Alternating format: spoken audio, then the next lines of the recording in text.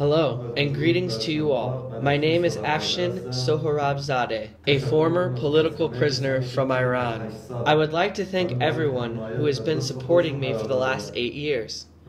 I would like to say a very, very special thanks and appreciation to Inez Cyrus, who has been extremely supportive.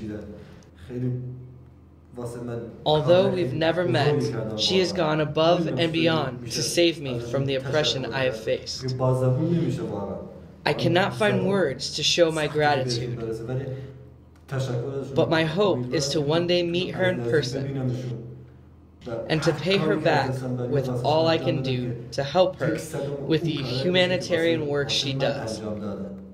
I would also like to thank Pamela Geller, Dr. Jamie Glazov, and Robert Spencer.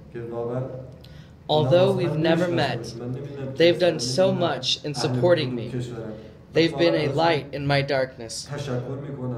My hope is to one day do as they do and save others as well, and to pay them back for everything they've done for me.